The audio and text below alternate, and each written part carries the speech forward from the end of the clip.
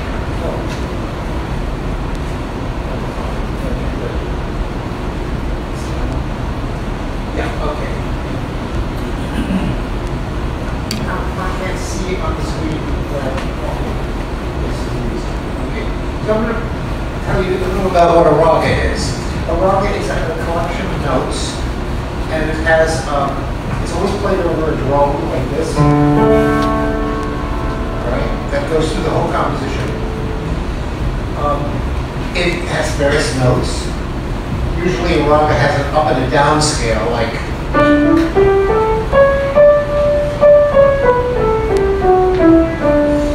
right? Uh, now we can collect all those notes into one scale, which of course would be the major scale. Right? And there are certain notes in Raga that are stressed, so reciting from as you like. And ornamentation is really very important in Indian music, and maybe can't even be separated out from the note itself now I tell you a few rhymes and play the scales for you first, and then you can um, listen to each one. The first one is a North Indian rock called Yaman. I'll play this on C.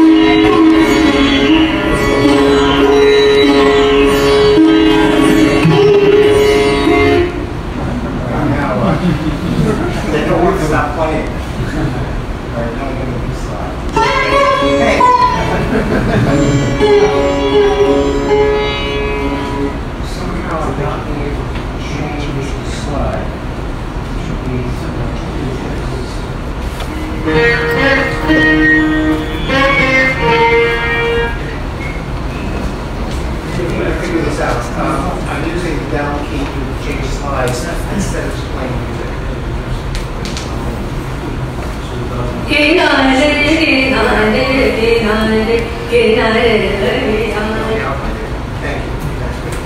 Very good. All right, so now, um,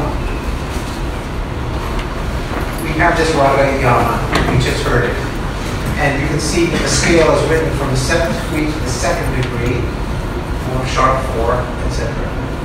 And it has a parent scale, which is usually the union, that is the combination of the up and the down scales note, written in descending order.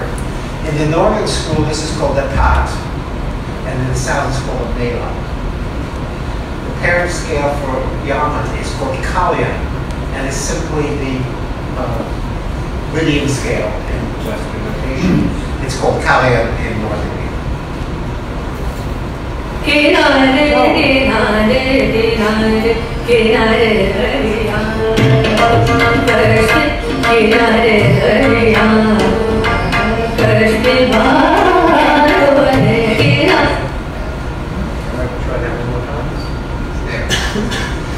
Here's a different raga called Garuda Dhwani, and it's a major scale up and a pentatonic scale down.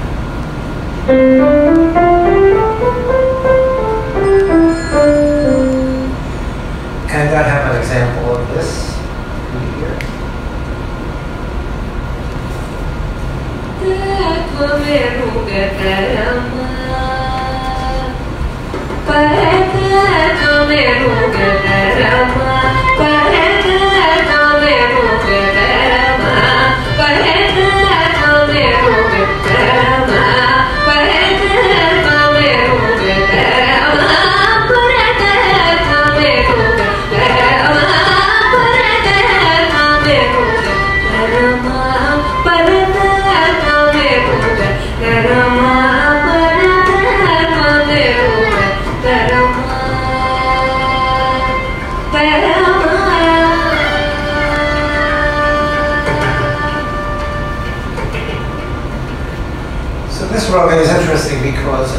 the limited scale is the downward going scale, and the fourth degree is the fourth note in this.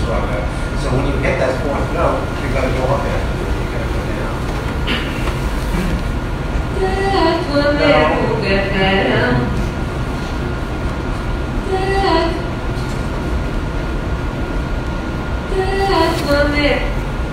I don't understand still.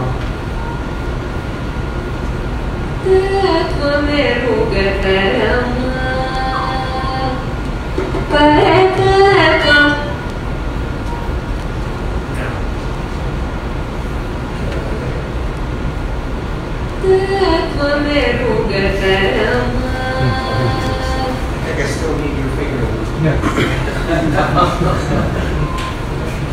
Yes, I don't understand why you use this one. Okay, got it. I was using, oh, that was the problem. Okay. All right, so then we will proceed, I hope, in a normal way. Um, So their name for note in Indian music is swara, and it's the basic seven uninflected notes like the major scale. All right, and they have names for this, sa, ra, ga, ma, pa, da, ni, which corresponds to our do, re, mi, fa, sol, la. And I'm just going to use the note, the term note for swara. We're not going to use many Indian terms, uh, and there are plenty. Swarasthana is a term for inflected scale degree, and I'll just use the term scale degree for that. In Hindustani music, there are 12 scale degrees, and in Carnatic music, there are 16. Here's the Hindustani scale system, the seven basic scales, uh, seven scale degrees among the 12 chromatic pitches. Um, so, for instance, two, the second degree can be flatted or normal, third can be flatted or normal, the fourth can be uh, sharped, the fifth has no alter, uh, no other note it can be, the sixth, etc. You can see how that works. There are no flat fives, for instance, or sharp threes. This uh, system is quite uh, clear about what is uh, a uh, ornamented or changed note and what is a normal note. All right. And down below, I've written these notes out corresponding to pitch classes. zero to eleven. We'll be using pitch classes often in this talk to simplify the discussion.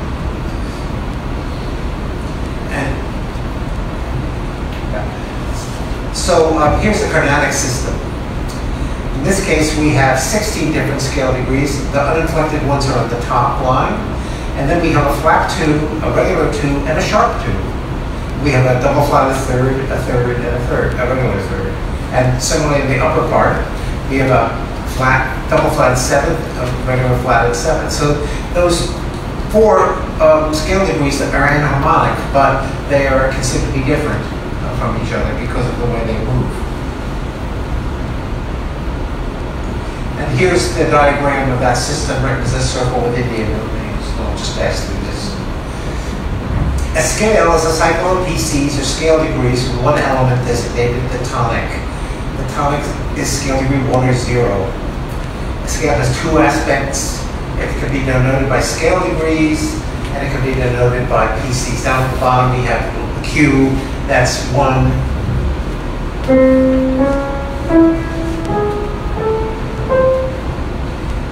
And uh, that could be written as pitch class as 01589. And similarly, the next scale can be written this way too. Scale is. All right.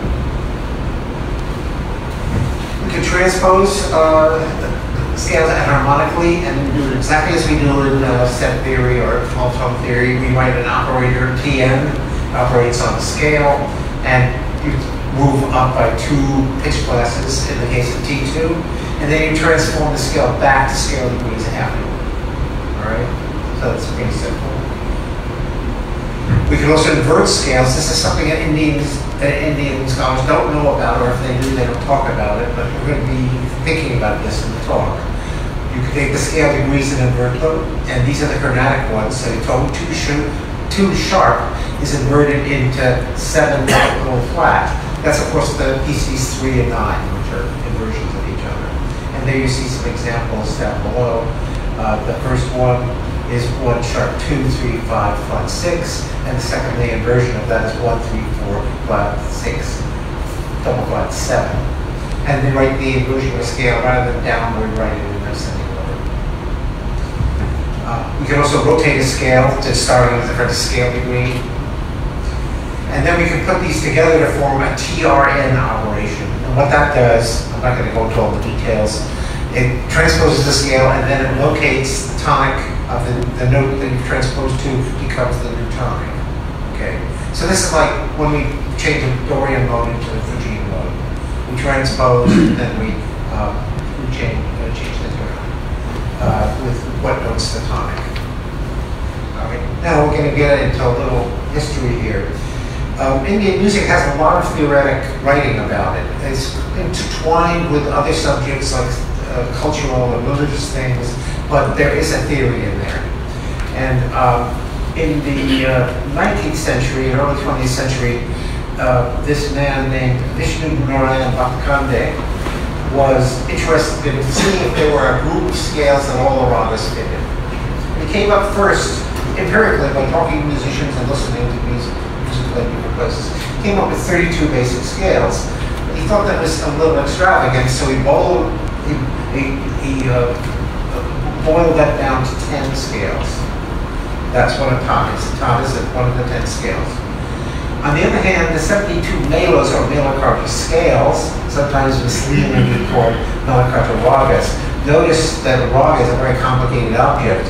Um, so these things shouldn't be called uh, scales. Uh, ragas should be called scales, so that's what they are. And the scale, a mela is a basic scale. And the way this worked is, about 1640, the Indian musicologist Makin proposed a system of 32 scales, but it was a little fuzzy. Uh, sometimes uh, the scales were altered in certain ways because uh, the theorist in question was trying to make them harmonious. Um, but another theorist came along about uh, generation later, Govindacharya, and he adjusted the Takanaga system to prove the Sampurna formal, complete seven-tone scales. And now that's what you have uh, handed out to you. You have the thaats on one sheet written in musical notation, and you have the 72 Melakarta scales there. I will be referring to this from time to time. So, uh, now notice the um, thaats study was an empirical study. I went out and looked at what people were playing.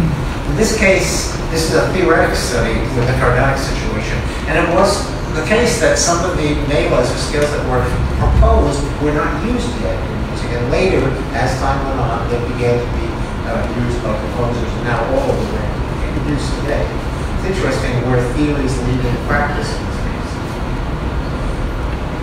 So here's a list of the 10 thaats, okay? And uh, maybe I'll play each one. How Kaliana is this. Ball. The next one's Khamaj. Live.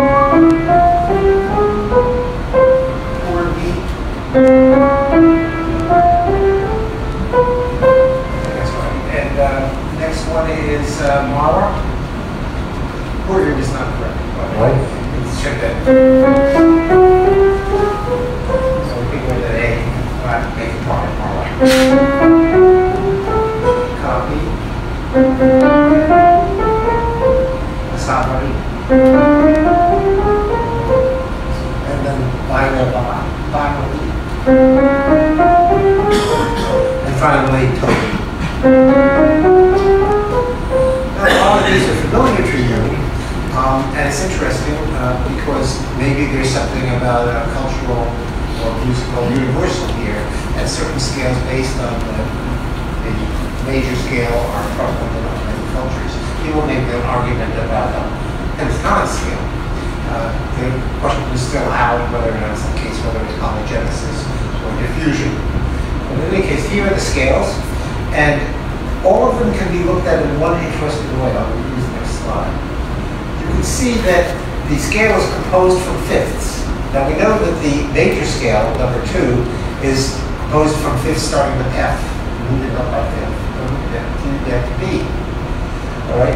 Now these some of these scales are rotations or modes of the um, of the major scale. So with the first one, Kalyan, you start on the note C and you go, go up this way. Now you'll notice I bracketed a few notes with slurs, and the notes that are bracketed are the drone notes, the two important notes in a raga, and then other ones running by fifths. And as you go down here, you'll see that they're all work out except for one. Look at Purvi, for instance, number five. You have the fifth of C to G, and then you have a chain of fifths and harmonically spelled um, from, from E to A flat. The same thing goes with Marwa and Kafi, is more like a, a mode of the major scale. Masabri is the same.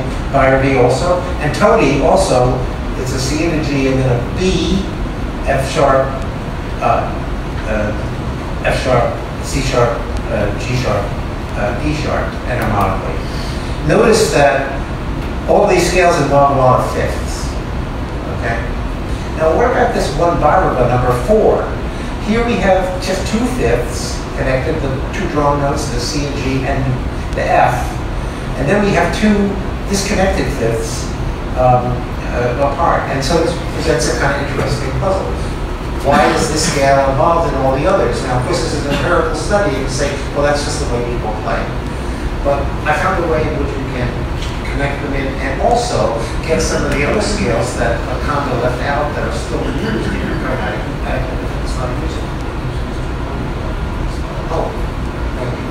Uh, where's it? And it's just, would like, just call it out. Yeah, got it. Okay, good. Okay. Okay, so this is the one I'm talking about, about, and here are the, the two fifths and then one, and one like that. So we're interested in how we generate these. So, um, transform these scales to as many fifths as possible. We start out with six fifths, which is the major scale, B and change the B, B flat. That gives us another, um, Khamaj. It's mixolydian. Now we change that on the other side here, to have sharp. What do we get? We get the scale that's the melodic minor ascent. That's a Western scale. Okay, and there are some ragas that are played in the north, uh, Chalakishi and Chapati. Those are very popular ragas in the north, although they originated in the south. And these numbers that are here are from the Mela numbers. Melas uh, in South India are given numbers. And also really long, complicated names. Um, All right, now we change, in this case, this E to E flat. We get this up here, this is four fifths of two tritones. And what we know, we have this scale Kiravani. Kiravani is the same thing as the harmonic minor scale. And we change C to C sharp. We get two tritones, and um, in this case, we have scale Viola. So we generated Viola. Okay. Also, there's some other scales that are equivalent to Viola in the south. Number 15, Maya Malava, Maya Malava Kadava. And now we change the A to A flat.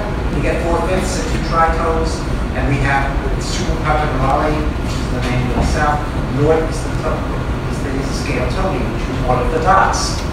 All right, and if we keep on going with this method, we'll change G sharp, G, G sharp, and we get an hexachord between uh, scale, the Brudonian hexachord, which is the source of many ragas. And then we can change D to B flat, and we get a flat scale when the process is finished.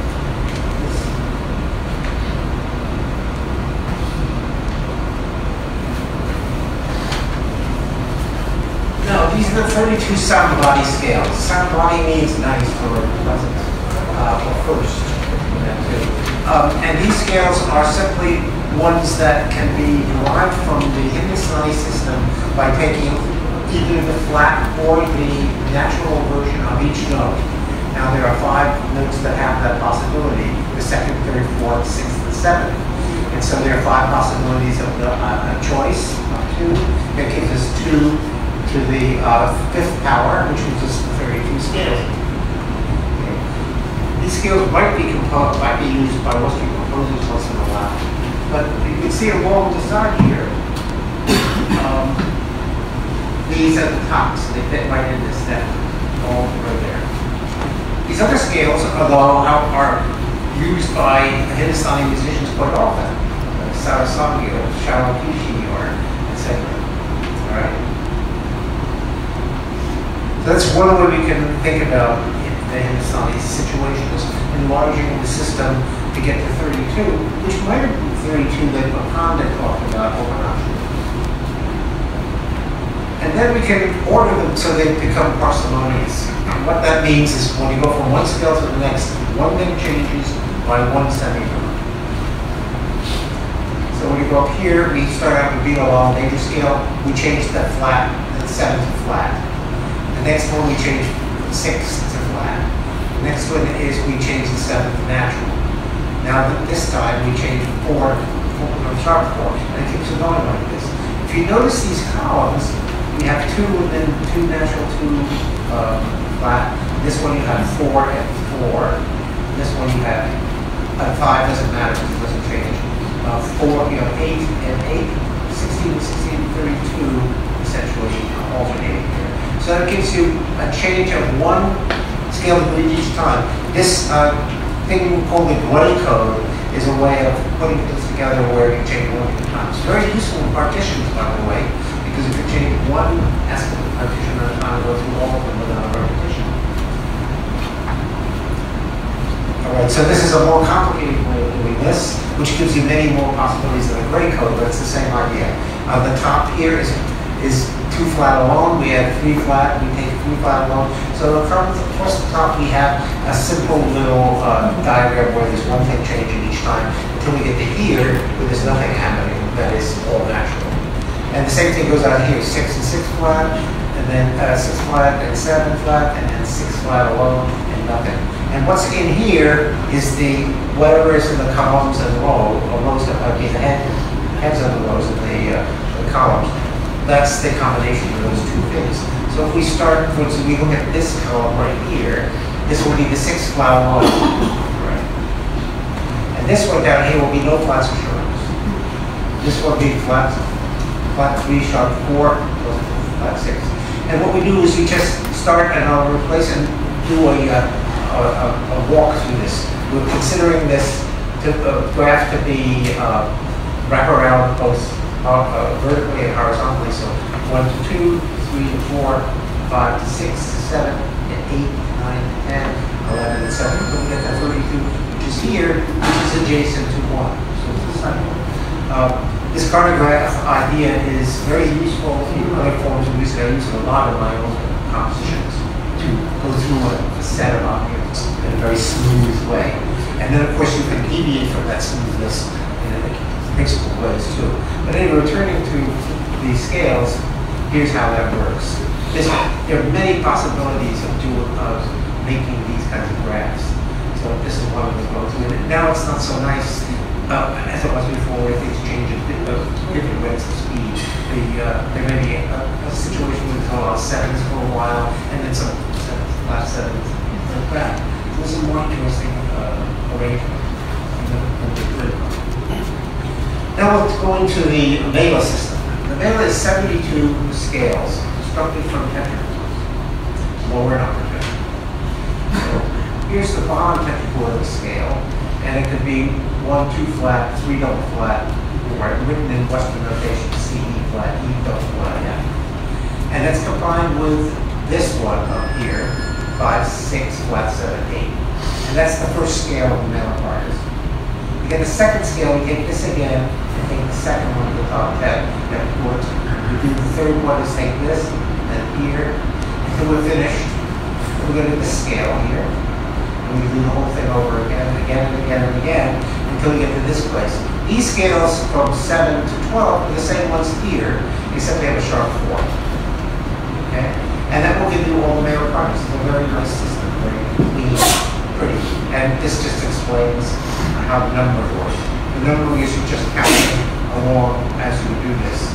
Uh, so this is two, three, four, five, six. You can find this with that, seven, eight, nine, ten, etc. Okay. Here's another way of looking at it. You have these four lower tetrachords, and you have these four other lower tetrachords with a sharp four. You take one of them or more, or one or, and then you can take them either one, these or these, whatever you've chosen, and then you have these that are which are upper ones, you take one of those, and add it, and so all the different combinations will be used underneath it. And here are the scales. I'm not going to play them all, but I'll give you some, first number 39 is of nice.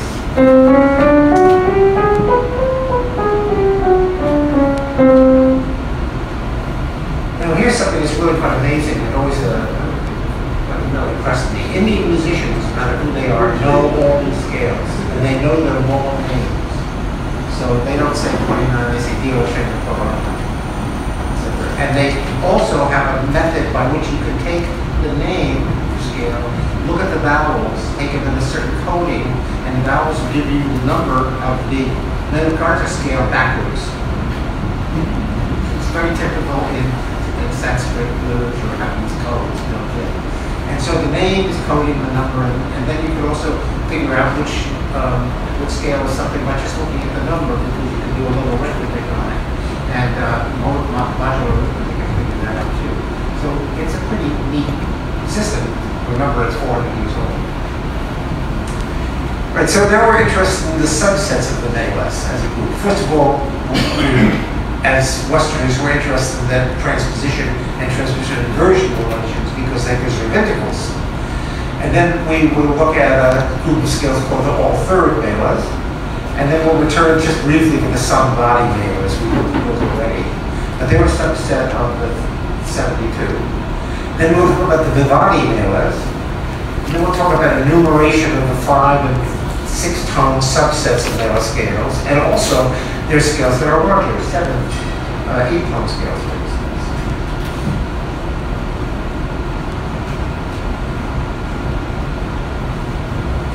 So here are the, on the right side, left side, we have Melas related by TN only.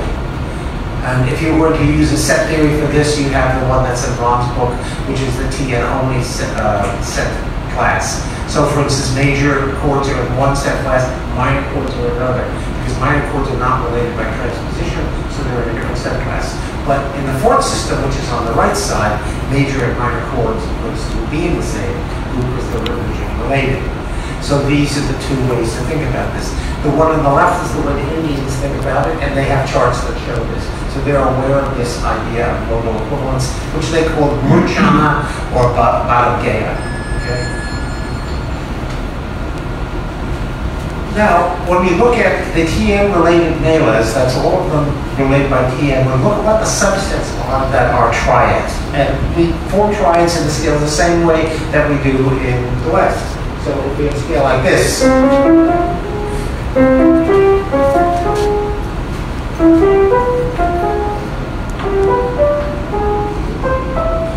like that. So we get triads. And what kind of triads? Well, we use the Forte system of triad of trichords, and none of the chromatic trichords ever occur, which is interesting because um, you think maybe there would be one triad that would have something like this in it. No, that never happens. Uh, also, um, the triads that are most frequent are the major, minor, diminished, augmented chord, and oddly enough, the Susquehanna chord. And then we have these other set classes like this, which are like a complete dominant seventh chord, maybe something like a major sixth chord or birthday version or something, and then this one, which is of course three notes the major scale. And those are the kinds of triads you get out of here. Um, now we deal with all third notochord scales. These are scales in which, let's take Bible again. So we go and make thirds. One to three, three to four. Uh-uh, it's not a third. So this is not a one hit all third. Uh, but now let's take the ascending minor uh, scale.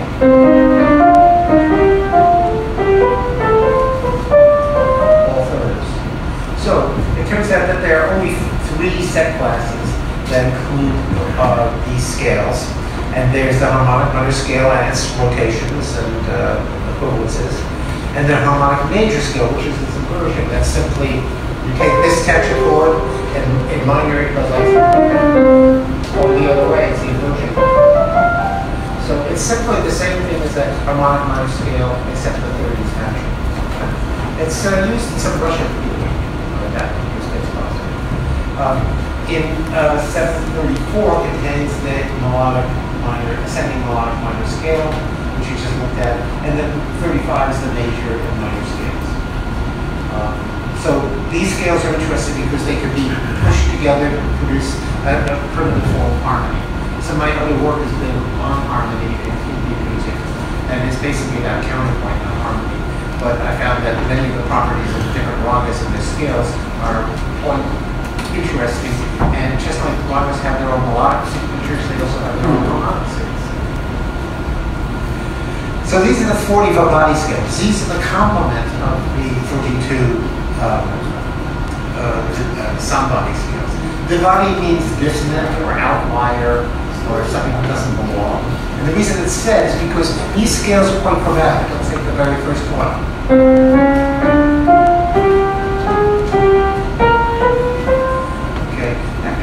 Scale, oh sorry, play it wrong. That's a lot of semitones. But instance, Bhairava also had a semitone. So the criterion here is the semitone can't have, the two semitones in a row can't have the middle pitch be a one or five, otherwise it's to get. So these are all the semitone groups that are involved, the second, third, the fourth, and the degree, things like that. All right, and um, these are the ones that conservative musicologists were problematic problematizing for a long time. And there was resistance against using the 72 Mela system for a while because there were these strange scales. But by now, every composer is composed. And uh, there are now uh, many ragas that are derived from these scales.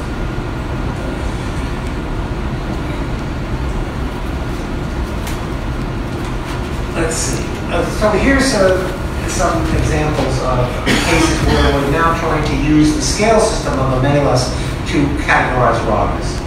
Okay, that's what I do at all. Uh, so the first scale is, uh, the raga is Moham, which is a pentatonic scale up and down. It is five up and five down. And what you do, what we're going to do is find a parent scale, a seventh scale, that includes this. Or look at raga Gudaro, up down, the up is major scale, down is pentatonic, so that would be four. That's seven up, one down. And then we have Andolika, which is interesting. This is one, two, four, five, seven flat, eight, eight, seven flat, six, four, two, one. So on the way up it uses five, on the way down it uses six. It has five notes in each part, but there are six different pitches in it. So we have to talk about how that works. Now there's also a raga down here at the bottom called Jalarajani, which has this scale.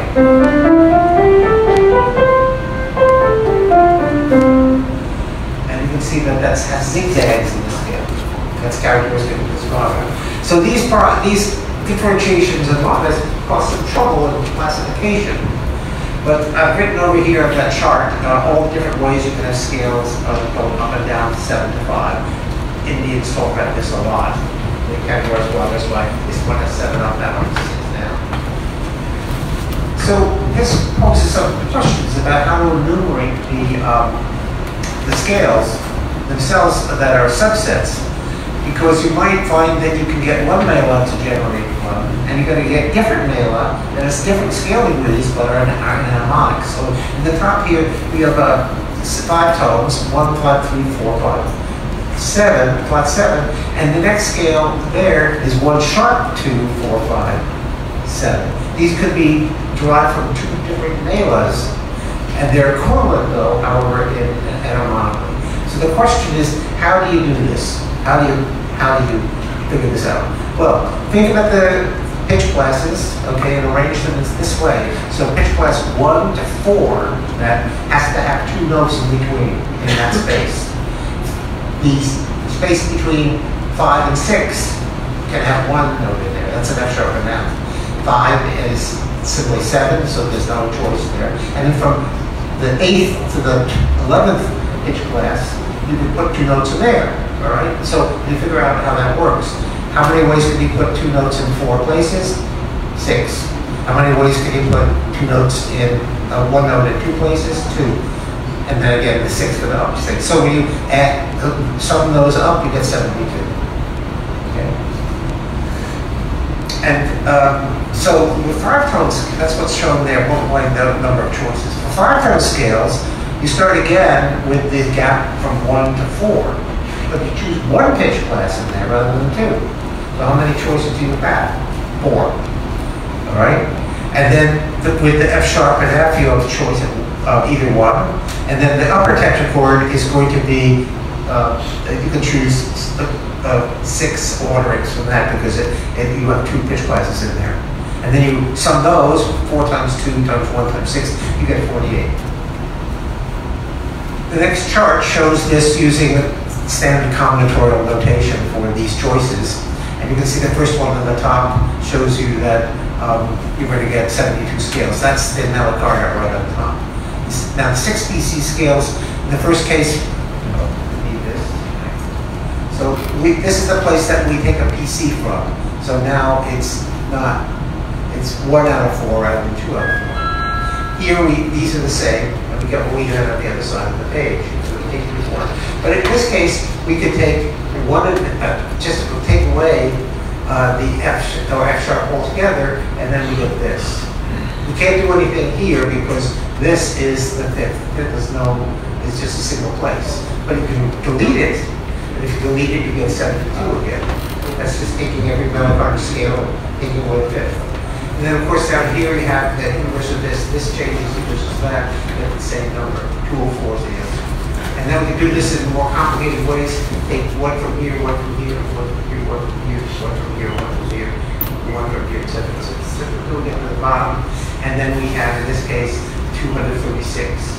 Now, there is a paper out there written by English musicologist uh, that used combinatorial, uh, combinatorics, which is uh, using complicated generating functions to enumerate.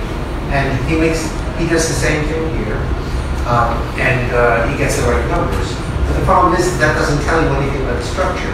Here you can see the how the structure works out.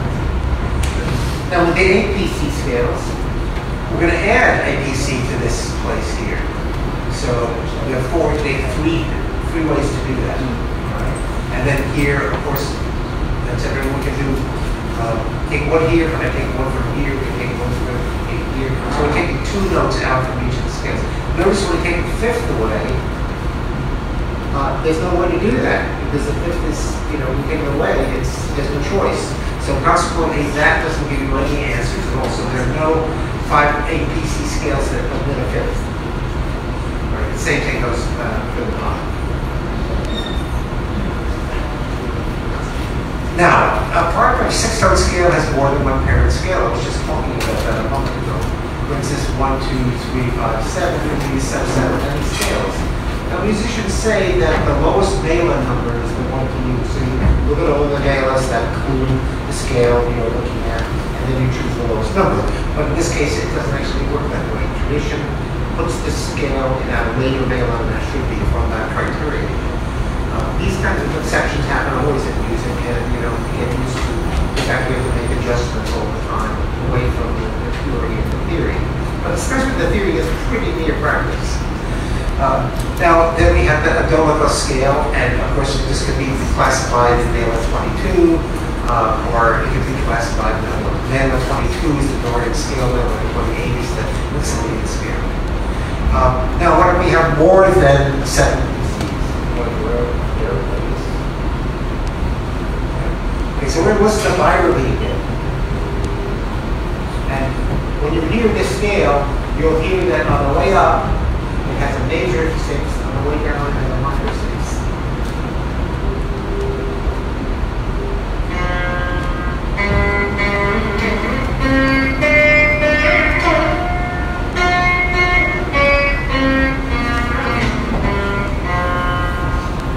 So, you have eight tones there.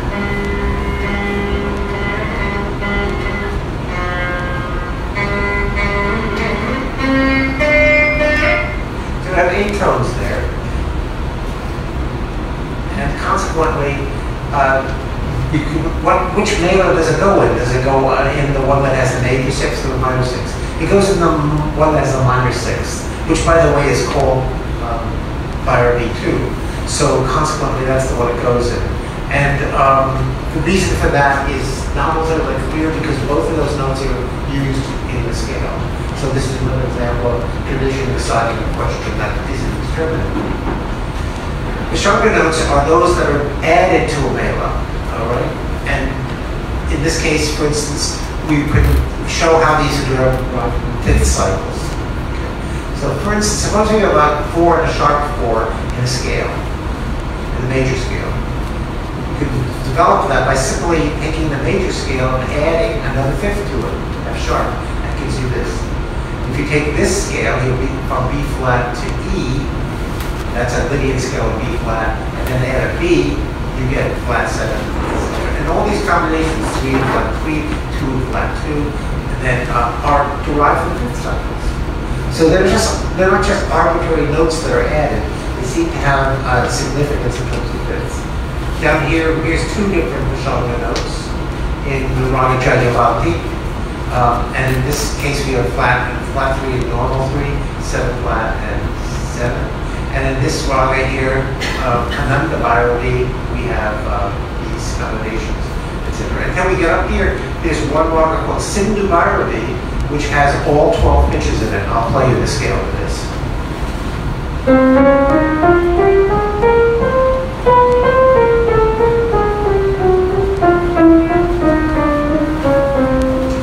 Sounds like something by Bach back there. But I mean, down we think every note is an inflection. So Bhairavi is a very popular raga, by the way.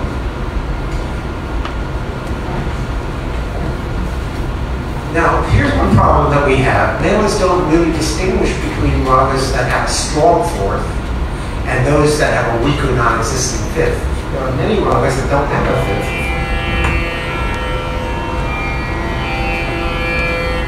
Just about to play that for you. There.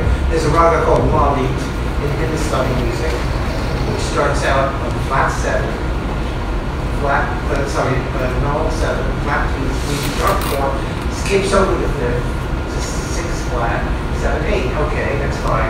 But when you get here, the way they think of it is F sharp to uh, six, six flat, F sharp to uh, uh, A flat, back to F sharp, then to F.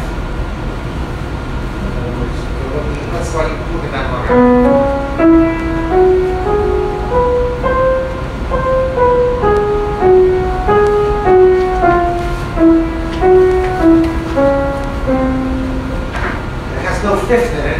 Obviously, from a Western point of view, one of those F sharps is a flat five. But the flat five is not admitted in the male system. So the solution here is simply to add a flat five. Now I'm going to play you this raga so you can actually hear the. Uh,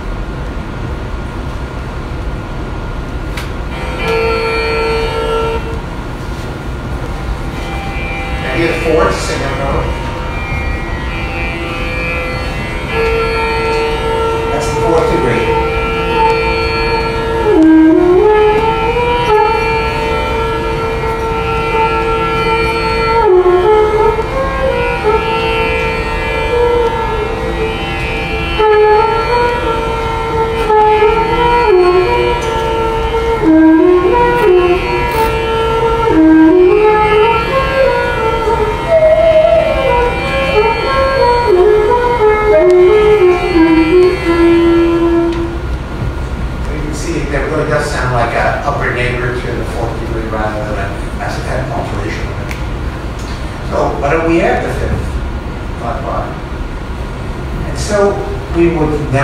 Expanding the melas a bit. There are two people who have tried to do this in the literature.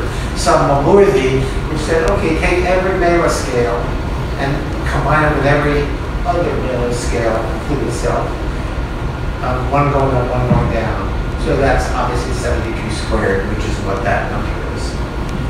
Uh, Subramanian goes even further, and he says, let's take a look at all the possible five tone sets and six tone sets and their combinations, and see how many we get, and we get about a quarter of a million. So that's a very extravagant um, uh, set of scales. Maybe, you know, like 3,000 year, 3,000 people will know them all, but right now, no. Uh, these scales do not address the problems anyway with the ordinary Mela system, they just add more scales.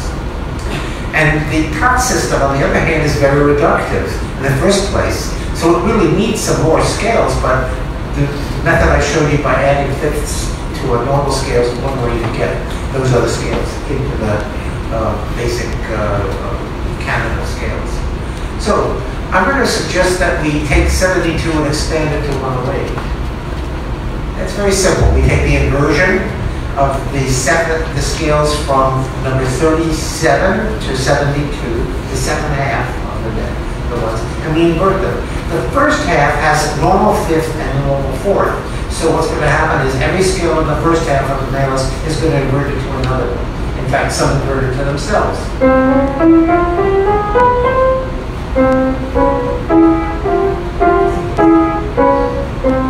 See, so that's a variant.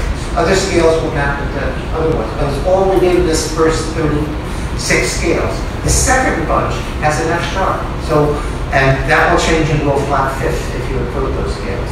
So I propose that we do the second half of the melas and add their inversions.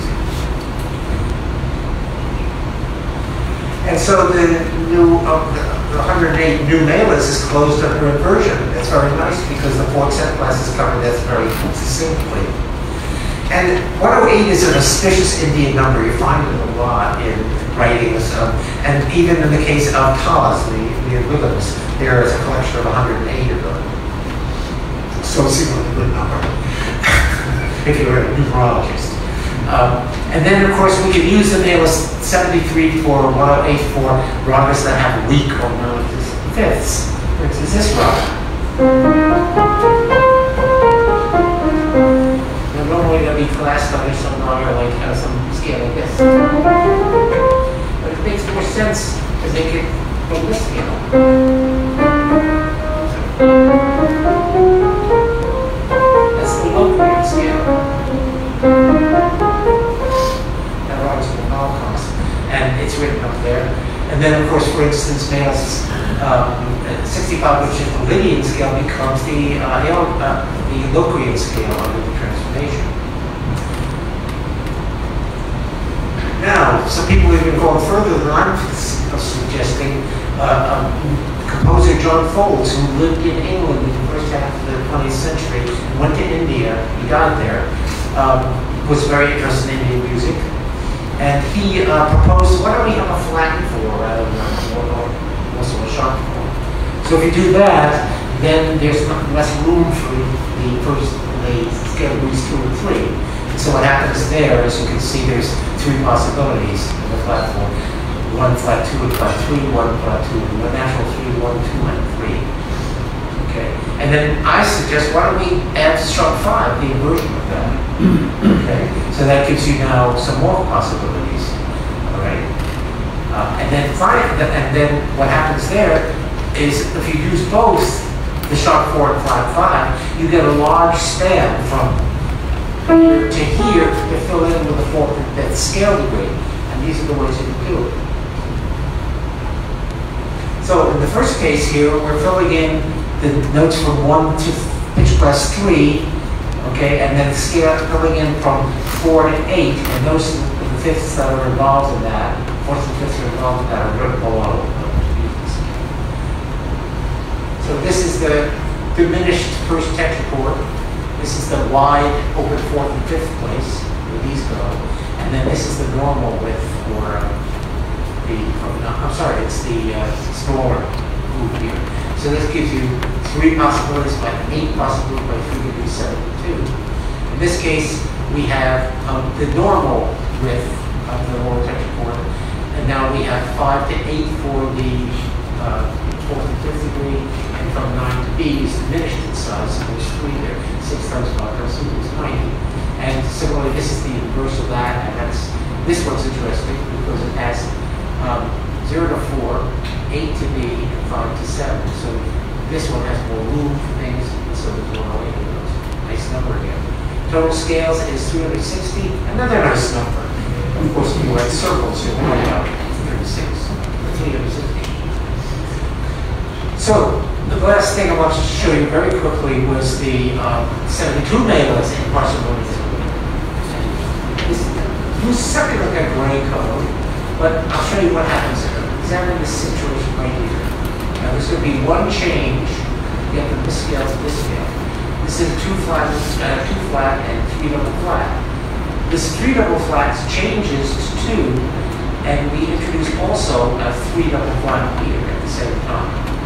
So what's going on is that this uh, uh, pitch class two is not changing, but this position here is changing its, its scale degree from flat three to plus two, and this is where the change is from two flat to three flat. So it's not exactly parsimonious because the way it's working is not like this, but like that, three dot three. This as opposed to this. That's the problem there. So it's not the greatest, I mean, it's beautiful in a way because it does wrap around and everything, and it's not, and there are many other ways to do it. But you can use the other method I showed you before, the front to do this manipulation.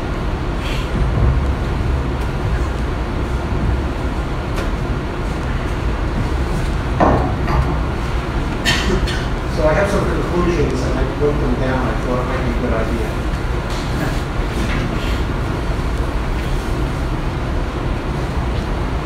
Okay. So you can see that the Indian music, music has lots of scales in it, and they're known by people that have been studied for many centuries. But they have anomalies with the use structure. So we're trying to remedy these problems by developing ways to sequence scales by preservation of fifths and by parsimonious sequences. We'll examine particular subsets of parent scales not recognized by Indian musicologists. We'll enumerate the five and six PC subsets, and by, we can add new scales, especially the 108 Mela system, to remedy some of those problems with implication. The thing, the last thing I want to point out is that uh, how important the fifth is in generating these scales. In the Shonda notes, remember the way that I changed one scale to another by adding a fifth uh, in that manner. So the fifth is really very uh, deeply into the system and scales here. And I hope these concepts are useful for both Indian and other composers to use these scales in compositional composition. I'm not combining this to just Indian practice. These scales are really interesting to fool around with. If you're composing things, you might want to use one of them or even some others based on these principles. So thank you very much.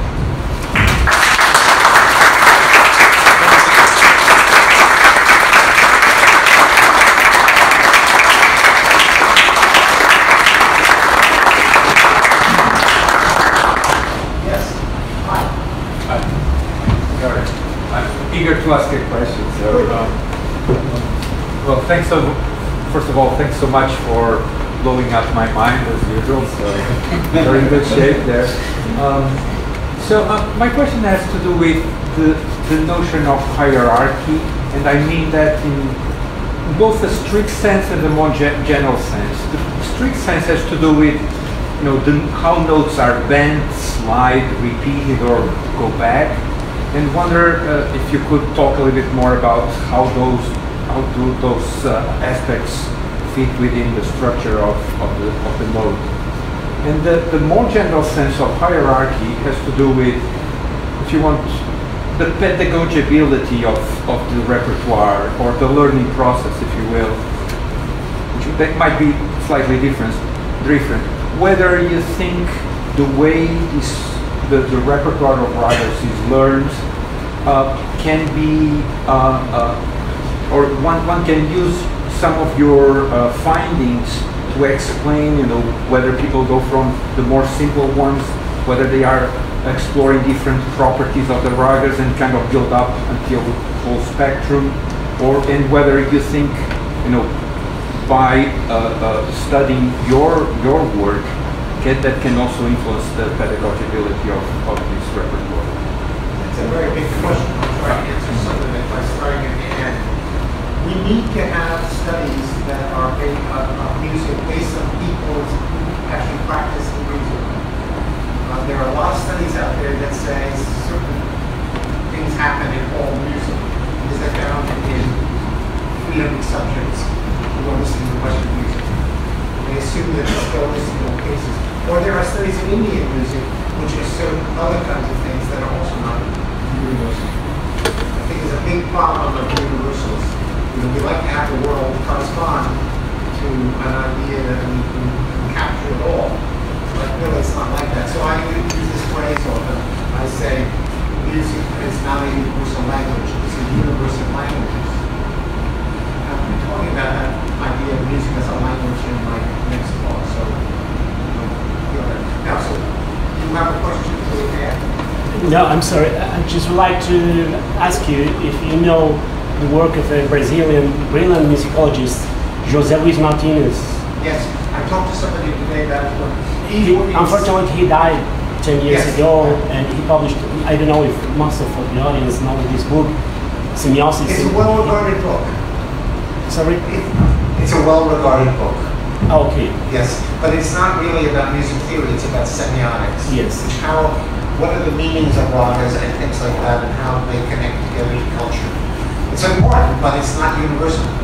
But my question would be uh, whether uh, Peirce's semiotics can be adapted to, in order to explore these kind of universals. Uh, since uh, Peircean semiotics is uh, rather involved with perception and uh, from a quite uh, universal kind of approach. Well, yes, that's a different question about how general or universal uh, uh, semiotics, the theory of signs in a combination is. Well, I- unfortunately, the people who invented that were shot down very hard by Derrida in the postmodern era, so I'm not sure we can really use that theory very well without invoking a certain kind of politics. So that's a different question.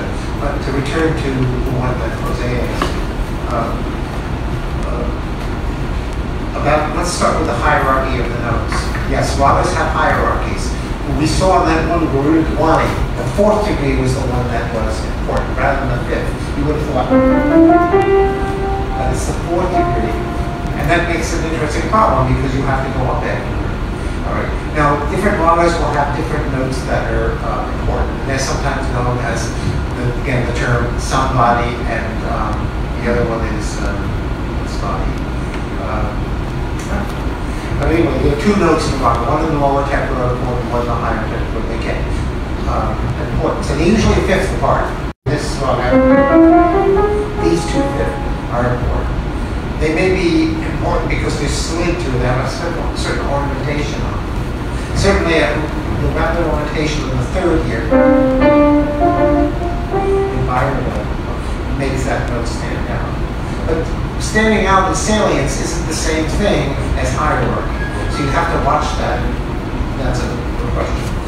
Um, in terms of a, universal idea, it seems like any note could be a Vadi or a Samvadi in, in a raga. And so consequently, there's no way to say, well, the major scale or something like that is the basis of most ragas. And there is one guy doing that now, that's named Sam Wilkegate. He's in Michigan. And he's making a very sophisticated case for the fact that ragas in the north are somehow related to the ideas of Schenker. Uh, but nevertheless, that's out there. Uh, and now the question about pedagogy. The way pedagogy works in India, especially South India, the pedagogy system was invented by a guy named um, uh, And his uh, method was to use the body, in fact, it's the same Mayamalavagowla, it's the Bhairavi scale again, and to sing simple songs and do very Spensalakara, which are ornamental passages, and build it from there. And then you go to a certain point where you have some simple compositions you learn. And then after that, you start working on more complex learn what are called varnas, which are important textual compositions in South India. Now, the idea here is that you learn everything by rote from the teacher. The teacher comes in front of you and says, okay, da, you have to do it exactly his way, and then or her way, and then when that's learned, then you do the next part, and then you put together the song this way. Only later is there any cognition that's brought in, but it is brought in. It's not like it's avoided. It's but the, the main thing is to get good vocal sound, to know a piece by heart, so it's part of you, and to develop uh, one particular raga for a long time. In the north, they use the raga Yaman for that purpose. You might work a year on Yaman before you taught another raga. So that's the way it's done. It's done by rote and uh, practice before cognition. Right. So the idea of having a cognitive theory about um, uh, about learning is not really featured in the Indian way of thinking. Now, in modern times, where people are, you know, at contact with the West, there are new things creeping in. Usually, you have to used to have it be the case when you study with a guru alone, it's you or maybe two or three other students. Now they use Skype. Now they have classes and things like that. So it's become more like Western teaching. And more conservative people are very concerned about that because they think you're not getting and all that stuff really deeply rooted in. So there's that aspect to deal with it. But there are people writing textbooks, which, and, and that's another thing about India, you'll find the same concept developed by all kinds of different people, and they all claim that they're uniquely developed. So, um, you know, and, and sometimes they use the, uh, the old technology method, and they put a few dr- dressing pieces on it, make it a little different, but it's the same thing as before. Uh, so there's a, there's a tremendous amount of stability in, in Indian music that's both good and bad. I'll tell you a story about that because it's kind of a funny story. I was in Mysore, it's a city in India, South India, and I was asked to address some um, women who were studying vocal music. They were about 20 to 22. And I walked into the class, and they didn't speak any English, I didn't speak any um, Kannada. So we were just looking at each other. There was a translator, so uh, uh, I talked a little about, you know, uh, my interest in music, and then one of the women stood up and said, uh, translated, well, what about, um, what about uh, your modern music? Is what is that like? You know Beethoven, what is it like? And I said, you have to imagine this, that in 50 years from now, people won't be writing music on ragas or talas anymore. They'll have a new system completely. And the Indians will look at me like, oh, come on. okay,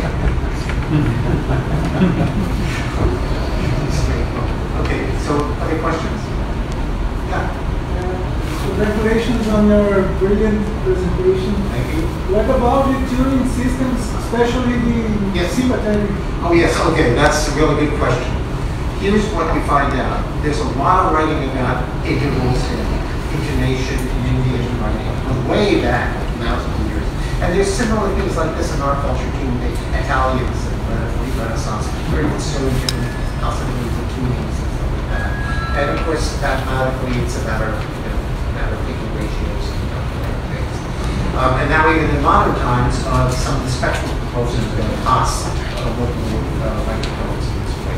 But the point is that, as I've said many times, in the system where you're using uh, microtones um, or adjusted information, there is no such thing as transposition.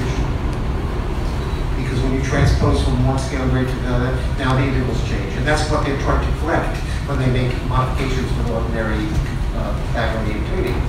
Because they're trying to get those other intervals, which under transposition are moving things around that don't stay stable. That's why we have the 12-tone system here, which permits us to modulate and have different s- sets of centers. But in this other system, you can't do that. So now, okay, there's no problem with Indian music because it's based on one tone, right? Well, the main thing is that we don't know in the ancient cases what those intonations were. We know they existed, and people have been trying to figure it out one way or another and and write lots of treatises on it. We really don't want, know that. It's very important for Indians to have something really way back that's stable, that they can base their um, traditions on. Uh, the next aspect of this is that, um, somebody might be playing this raga we just learned at Bhairava, and um, one musician said, one teacher said to somebody I knew, it doesn't matter what the intonation of the flat two is. just get it around, you know, the right place. But make sure that A flat is exactly in tune. So again, that's an emphasis on the fifth, but in a kind of floating way as opposed to you know, making it exactly fit. And I thought that was very insightful. People have studied, of course, the ornamentations, uh, especially in Indian music, South Indian music, and found that they were really vastly different from each other, and they're different amounts of them. Sometimes they're very tiny, sometimes they're very large, and that depends on who's playing and how to play. Uh, some ragas demand a flatter seventh than normal, some would demand, you know, a sharper fourth than normal, of the normal being the normal from, let's say, temperament. But that is just understood. They still think of the scale as being like the West with seven scale degrees with 12 uh, attached to it, 16 attached to it. So the intonation occurs in performance, but doesn't occur in the theory actually. Although a lot of musicians, as I say, want to make it a theoretical situation. So you get a lot of people arguing about what's this or is that, and then you do the measurements with a, you know, listen to the spectrum, the spectrogram something like that, and you find that it varies. So if you're a person who likes um, mathematical theories of intonation, unfortunately India isn't the place to go for it. yeah. Uh, I'm sorry, uh, Yeah. could you explain uh, if they tune the sympathetic strings to the scales? Right. They do it, if, they, if you notice when your sitar is doing that, they'll tune this, it's tune this. But they don't change the main. No, the main string, strings are the ones you play on. You different, no, but the sympathetic scales are the ones, uh, scale, strings are the ones that stay common. And they tune it a certain way, and if you listen carefully, they'll change it for the next raga. See, so each raga has a different way it has. So, for instance, in um, Bhairava, Bhairavi, the second is flat, very low, very low. But in another raga that has a degree, uh, it's higher. So they have to, they know what to do, but there's no fixed tuning, tuning for those notes. It depends on the raga. It's like a jazz, depends on the changes. Any other questions? Yeah. Yeah, um, thanks for a really stimulating paper. First comment and then question. Comment is when we talked about visiting the classes and the, you know, that now they teach versus through your classes, there's a parallel of course, in Western music you're learning from teaching first the Marco and, and uh, all this very successful one-on-one, the 19th century conservatives, were learning for the classes of conservatives. I think that's- that's- the other thing, you can you talk a little bit about the the relationship between composition and improvisation. Yeah. And- and- There's a lot of misleading things that happen in Indian music because one of them uh, sold to the West um, in the early 60s. There were several things that caused that. First of all, the Shankar was such a brilliant player. He was bringing this new guitar music to the West. But there were a lot of people playing guitar with slides and things like that. So Colin played locally. Um, of course, he was a great showman and a really good uh, entrepreneur. So he had a lot to do with introducing Indian music to the popular culture. Unfortunately, his music got typecast as drug trips and things like that, like those uh, movies where somebody's talking about taking marijuana, all of a sudden music appears like that. Uh, so uh, that's one thing. Another uh, another aspect was the Beatles, of course, um, who valorized uh, the Indian music tremendously, especially Harrison. Um, and so that gave uh, uh, credence to this kind of music. But in general, the music is really uh, a lot different than people think. For instance, in the Hindustani tradition, the performers say, well, you know, this performance of this piece called a khayal is improvisation. Well, the improvisation is very highly valued in all kinds of situations. You have a theme that you have to work with, you've got a text that you've got to get right, and you've got to get the music to be in the right places in the column, the rhythmic cycle, things to just the right way. So, just like you could say, well, improvisation with jazz, or you just sit down on a keyboard and play anything. No, you, you know, a matter of um, you know, things you have to know, and it's difficult to master these things.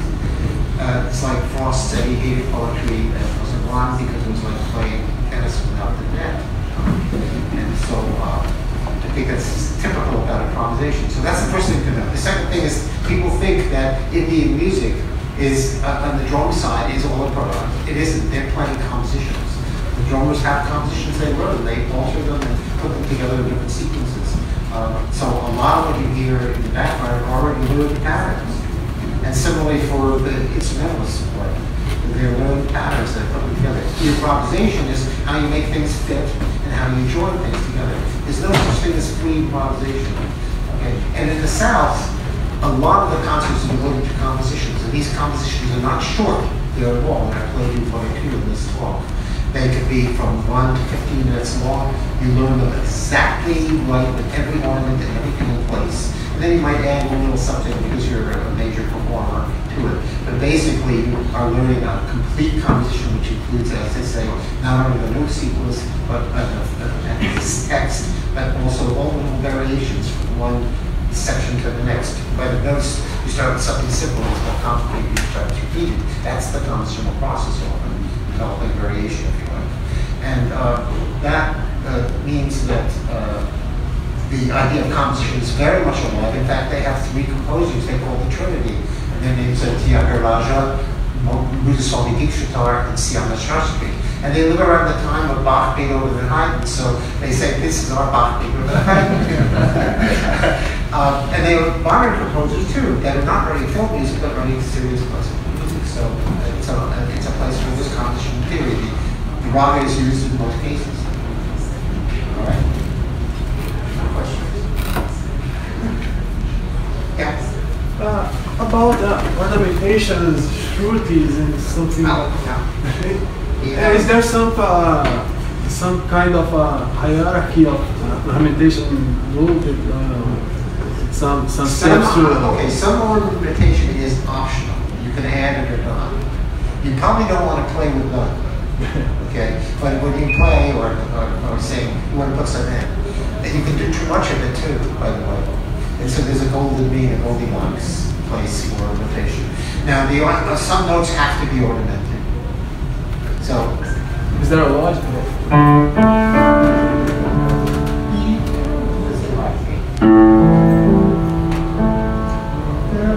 It's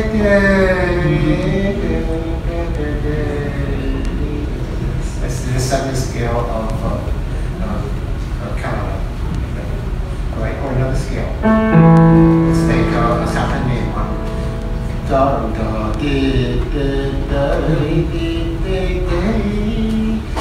di di di di di di. Those would be up. That's Chandravarana, the major scale. That's the way it's performed. Those are obligatory. Got to do them. But you can put more in. Okay. Mm-hmm. Um, uh, you can also change them in some ways. So there is a rule for doing it, but it's something you can generalize very hard. In fact, there are treatises on what are the ornaments, which are the ones that are here. Mm-hmm. And sometimes you get a set of eight, sometimes have 14, etc. And then they have names. And then you find out when you apply this to the music, it doesn't work out that way. Now, I did a study uh, looking at one set of performances of South Indian music, which is published um, in the AAU, the American, uh, the Analytic, um, Music. yeah, that's right.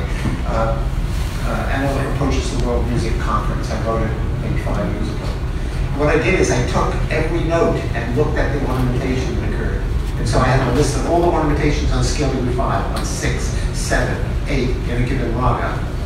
Right, and, and what I did is I found them all, and I found there were over a hundred different ways to play those notes in that raga. And then I looked at what are the sequences that would occur. So this particular one goes to that, but not to this one. All right, and so those sequences generated then s- little cycles of ornamentation. And these cycles of ornamentation were very good descriptors of the local ornamentation in a given performance. So the, uh, so I was working with something like a Markov system, but making cycles out of it rather than trying to make a hierarchy.